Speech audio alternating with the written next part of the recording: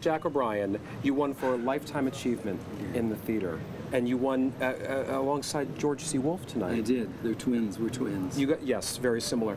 Um, I have to say, on a personal note, um, I was at the final preview of Hairspray on Broadway. wow, in were the you audience. really? I was, and it was one of the greatest nights in the theater. And it was at that time that I looked up your name and who you were and Oh, all about you. You are someone that has dedicated your life to the theater. I mean, you've worked in many different mediums, but you've really dedicated your life to the theater. That's true. Why do you love this community so much? Why do you love the work so much?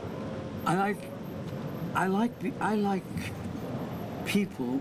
I like what happens when you affect people, when you see what they can do, when you ask them to respond or do something and they show you something you didn't dream about.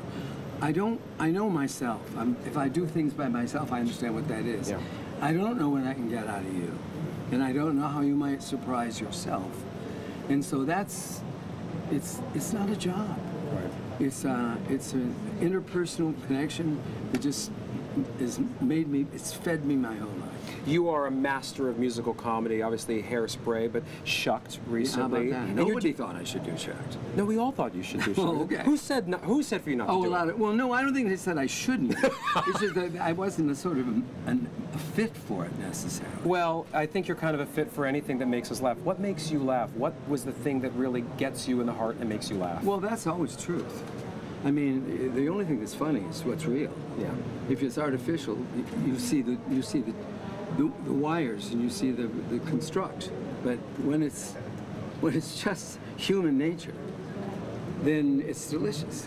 What would you say to future artists who want to break into the theater? Hello, future artists. I would say, come in. The water's just fine.